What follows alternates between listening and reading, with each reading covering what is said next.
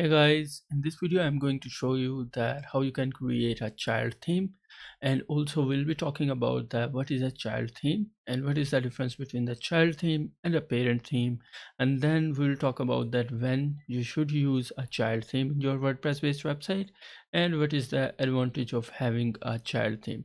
So if you are a website developer or a website designer using the WordPress for a while, you might already have heard about the terminology child theme and you are here because you want to learn that what is actually the purpose of using a child theme. So if you want to learn all these things, then without further ado, let's get started. So let's talk about the child theme in WordPress. So in simpler term, a child theme is a sub theme that inherits the look, feel and functions of the parent theme. Now you might think that what is then the difference between the child theme and a parent theme? Well, a child theme as defined by the WordPress codex is a theme that inherent the functionality and styling of another theme that is called the parent theme. So the child theme actually inherent the functionality and styling of the parent theme. But then when should i use the child theme? Well you should use the child theme if you want to extend or modify the functionality of your parent theme. So for example you want you want to uh, add a custom php in your parent theme to extend the functionality. In that case you will use the child theme. Then what is the advantage of having a child theme? So Consider it this way that if you will add the custom PHP to extend the functionality of your website in the parent theme, then in the next update, whenever the update will come, all the changes that you will made will be overwritten if you if you will do this in the parent theme. But if you'll use a child theme all of the changes that you will made will remain here and then you will be able to update the theme as well. So this is just to give you a secure way to enhance the functionalities of your website. So let's see that how you can create a child theme in your wordpress based website.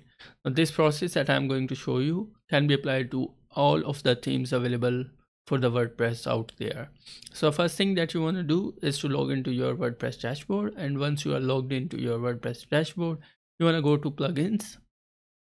And then in here you'll have to click on this add new button. In here you will search for child theme and we need to install this plugin that is child theme configurator.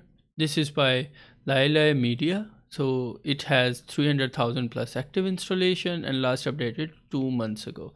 So simply click on install now button here and then simply click on activate button.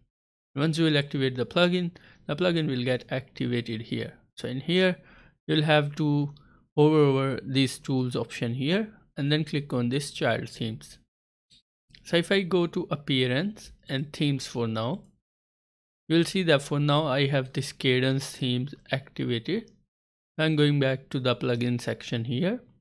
And then in here, you can see that it automatically picks the theme that already installed, that is Kadence. So if you will have multiple themes here, you will see a drop down of all the themes available that you have installed in your WordPress website.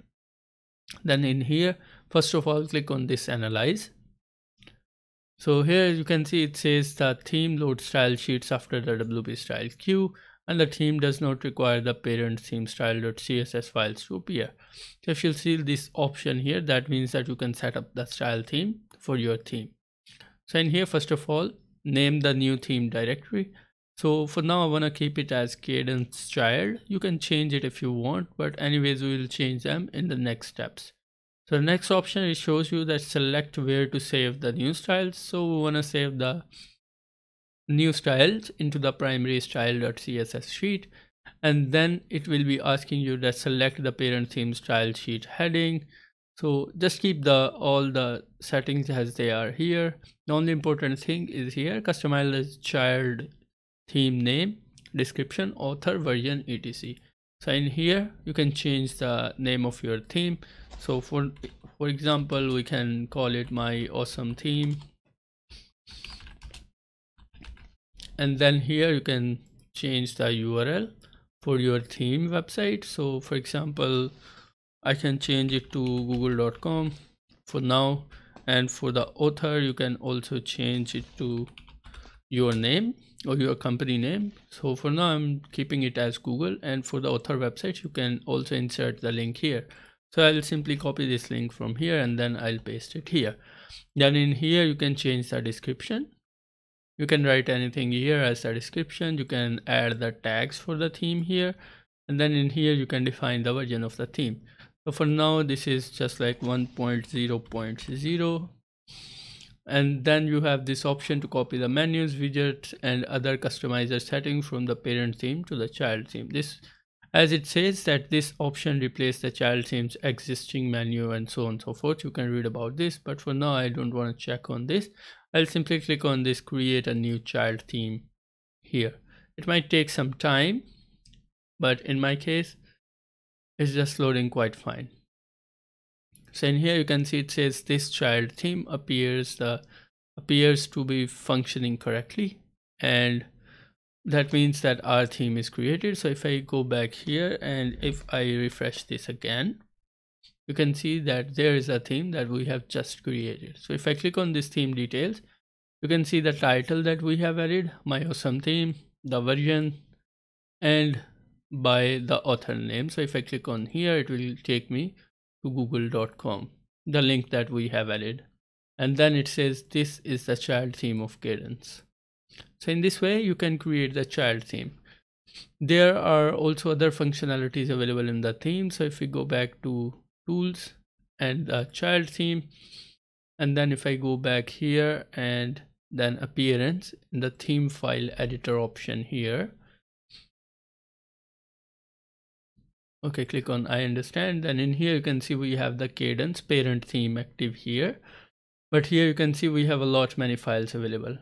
But if i switch it to the child theme that we have created you can see we only have style sheet and the theme functions .php file. Now for the child theme you only require these two files. For the child theme to work. So if you have the style sheet and the theme function.php file you'll be good to use your child theme so that is how you can create the child theme into WordPress based website. I hope you have learned something new from this video. If you have learned something new from this video, please consider subscribing to the YouTube channel and make sure you hit the bell icon so that you will always get notified whenever I upload the next video. Thank you very much. I'll see you in the next video.